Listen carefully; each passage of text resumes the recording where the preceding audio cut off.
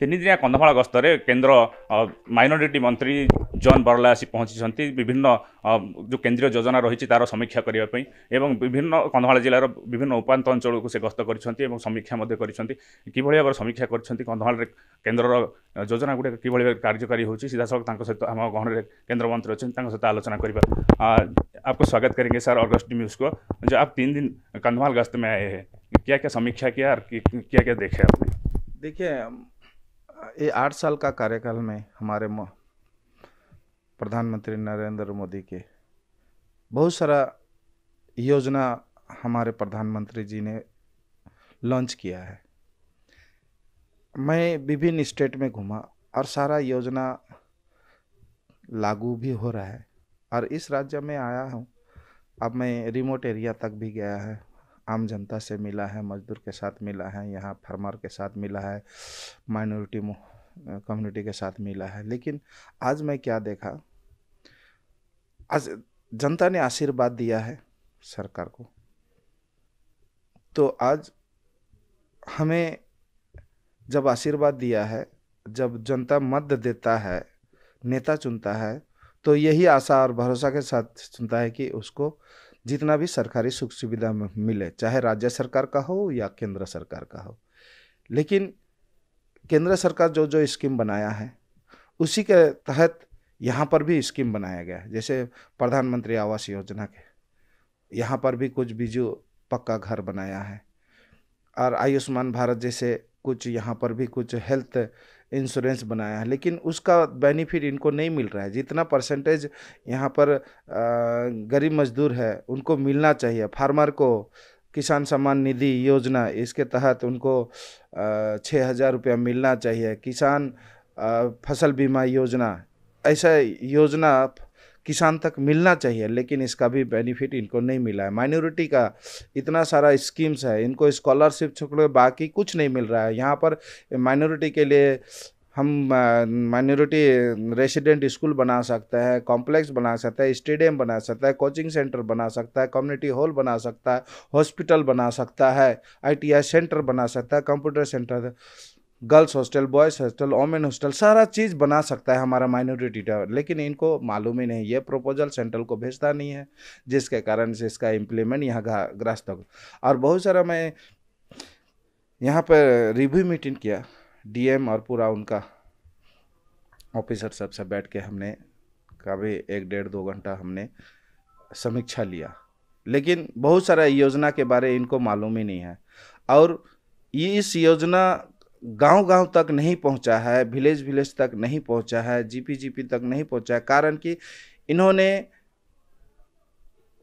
घर बैठ के ऑफ़िस में बैठ के ये जनता का सेवा करना चाहता है। लेकिन अवेयरनेस का कमी के वजह से अगर आज ये जीपी में जीपी में जाके लोगों को अवेयरनेस किया होता है तो वो फॉर्म फिलअप किया होता वो बहुत सारा मजदूर है जिसके बारे में इनको योजना के बारे में मालूम ही नहीं है, जिसके कारण से इसका वो फिलअप भी नहीं करता है।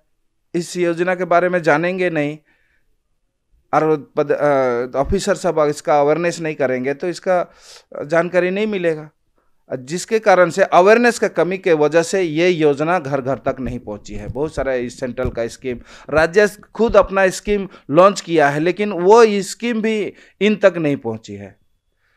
मैं कहना चाहता हूँ, मैं विनती करके, मैं राज्य सरकार को विनती करना चाहता हूँ, जनता ने आशीर्वाद दिया है, और इसमें राजनीतिक से उठ के इन जनता के लिए काम करना चाहिए। मैं रिमोट रिमोट एरिया में गया, मैं उनसे मिला, मजदूर के साथ मिला। वो आज मुझे आज मुझे क्यों घेरा घेरा करेगा? वो हमसे बार बार पूछ रहा है कि हमारा प्रधानमंत्री आवास नहीं मिला है, हमारा राशन कार्ड नहीं मिला है। बहुत बहुत लोगों को ration card one nation one ration card. इसके तहत उनको मालूम ही नहीं है कि किस तरह अप्लाई करेगा। अप्लाई करने, किस तरह अप्लाई करेगा? इसके लिए तो राज्य सरकार का अवेयरनेस कैंप बिठाना चाहिए। माइनॉरिटी का कितना स्कीम है उसको कैंप बिठाना चाहिए। किस तरह अ, क्योंकि गरीब मजदूर है अनपढ़ भी है और उसको यहाँ तक पहुँचना चाहिए। खेत है इरिगेशन नहीं है। यहाँ टीचर यहाँ पर स्कूल है टीचर नहीं है। हॉस्पिटल है डॉक्टर नहीं है। हर डिस्ट्रिक्ट में एक मेडिकल कॉलेज हमारे प्रपोजल भेजिए ना केंद्र के साथ अगर हाथ मिलाया है तो मुझे एक दिल से मिलाइए। ऊपर ऊपर क्यों? लगता है कि केंद्र सरकार से मिलकर काम कर रहे हैं लेकिन केंद्र सरकार का तो योजना यहाँ पर इम्प्लीमेंट नहीं, नहीं होता है। मैं राज्य सरकार से विनती करके करना चाहता हूँ कि राजनीतिक से उठ के जनता का पास खड़े उतरना चाहिए जनता का हर योजना घर घर तक पहुँचाए। ये आठ साल का कार्यकाल में मैं दूसरा दूसरा राज्य मैंने देखा। बहुत सारा योजना घर घर तक पहुँच रही है। मैं त्रिपुरा गया नॉर्थ ईस्ट में गया सारा राज्य देखे। कहीं जिंदाबाद जिंदाबाद देना होगा देना होगा ये दिन हमने नहीं देख रहा है जहाँ पर हमारा डबल इंजन सरकार है। ज़रूर। तो अभी आप तीन दिन कंधमाल में गश्त किए तो देख रहे हैं कि यहाँ के प्रशासन जो है एडमिनिस्ट्रेटिव को ही पता नहीं कि केंद्र का क्या योजना चल रहा है। तो इससे आगे कैसे बढ़ाया जाएगा? गरीब से गरीब लोग कैसे पाएँगे ये? देखिए हम लोग हमारा भारतीय जनता पार्टी का कार्यकर्ता का यही मकसद है। हम लोग मोदी जी का सिपाही है। हम लोग घर घर तक पहुँचेंगे और लोगों को बताएँगे अवेयरनेस करेंगे, योजना के बारे बताएँगे। और अभी तो डिजिटल इंडिया है है ना? डिजिटल इंडिया के तरह हम लोग जानकारी है और इस जानकारी को घर घर तक पहुंचाना यही मेरा मकसद है। अभी जो स्टेट का इंटरेस्ट नहीं है शायद।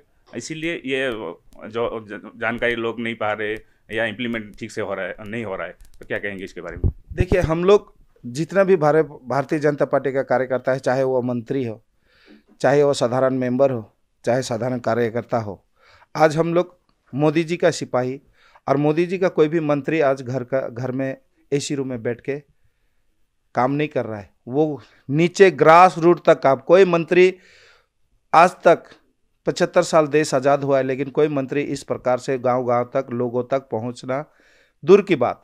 वो केवल दिल्ली में बैठ कर राजनीति करता था कोई भी ग्रास रूट तक नहीं पहुँचता कोई एकदम रिमोट एरिया तक जाके